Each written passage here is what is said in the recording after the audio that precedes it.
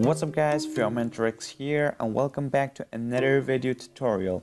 Today in this quick tutorial I will show you how to take a screenshot on any windows. So basically there is two ways to take a screenshot on your windows. So first what you want to do is go right here and search for snipping tool. When you click that and you can see this little box right here just click on this little down arrow and select the full screen snap. This window will pop up, just click the save button and save it to your desktop. And there you have